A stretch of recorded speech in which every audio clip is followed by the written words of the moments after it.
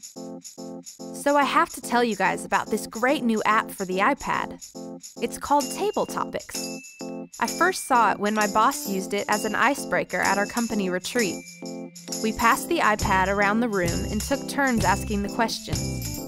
It definitely loosened everyone up as we heard about Carl's near death experience while vacationing in Portugal and Sophie's ecstasy recalling the garden pizza she ate in Little Italy. It was so much fun.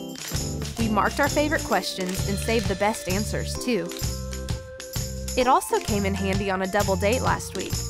We were having drinks and used the first date set of topics. It really got the conversation going, and anytime there was a lull, I'd just flip to a new card. It was great. We even took turns creating our own cards, which was tons of fun.